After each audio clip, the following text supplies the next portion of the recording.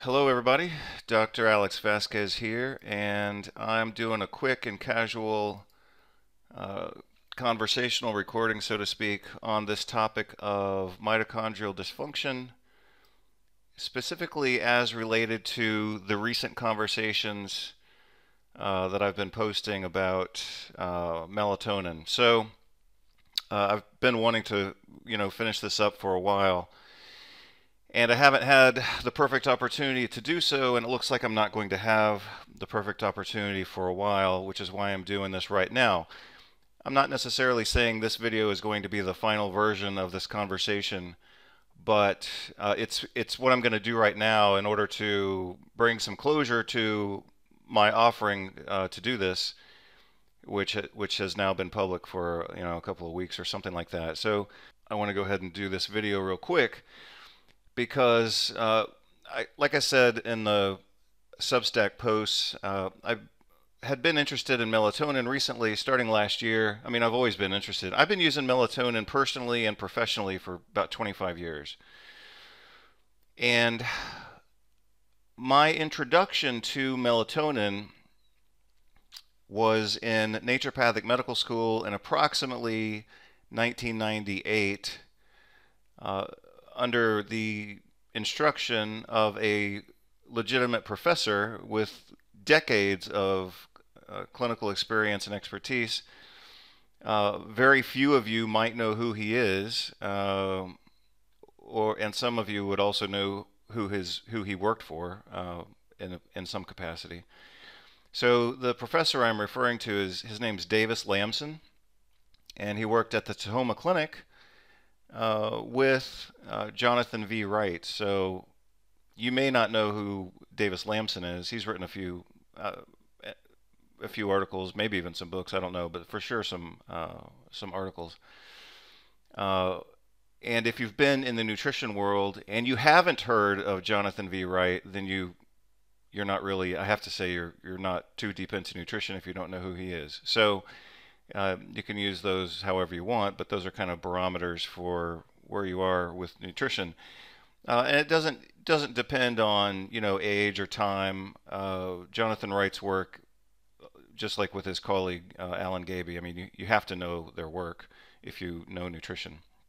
So again, uh, my introduction to melatonin was under Davis Lamson at Bastyr University in our oncology course. So he was the professor we had to learn how to treat cancer.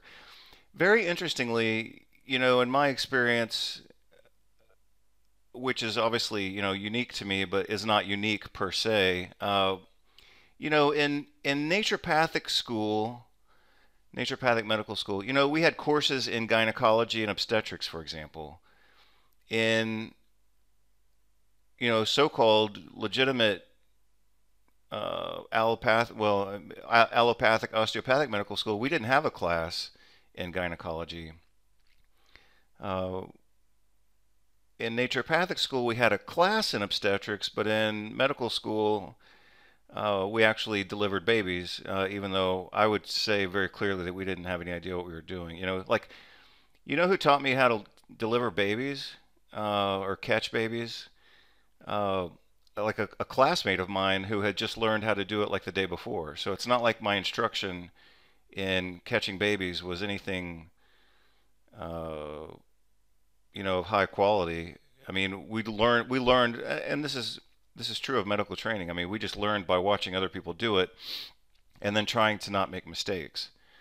Uh, as you probably uh, could anticipate, I actually prefer learning in a classroom and then doing it in real life, not just jumping into doing it real life where nobody knows what the hell they're doing, they have no criteria, they and they just wing it and they call that, you know, medical care. I don't think that's a good way to do medical education or medical care. So uh, that's my opinion on obstetrics and gynecology and it would be my opinion on everything else too. I mean, to not to not teach people how to do things and then throw them into a situation where they have to fake it just creates uh, chaos and it creates really sloppy healthcare. So, so that's the outline. Glycolysis, pyruvate dehydrogenase, starting to feed into the Krebs cycle with some other substrates here. And then we have, you know, the big ATP coup de grace right here, uh, which is the electron transport chain. So that's the overview, but these are the actual details of every enzyme and every substrate involved in that uh, pathway. And as I started to say, these were my study notes. Uh, that was when I first made this diagram, was in medical school. And what I did is I, I drew everything out, as you can see here, and then I went back and I made a separate version where I took all the letters out, I took all the words out, and so all I had was the arrows. And then my way of studying this was to go back and fill in all the blanks, so to speak, for every arrow. So I had this entire document, this entire diagram memorized. Every single enzyme, every single reaction, every single ATP, every single substrate, all through the Krebs cycle. I mean, I know some medical students, all they did is memorize the Krebs cycle. I mean, for me, that's nothing. I could do that in an afternoon. But in our school, we had to memorize everything all the way. And that's how I kind of gained some mastery over, you know, mitochondrial function, so to speak. And obviously from there, I went on to write, you know, some articles and books on it.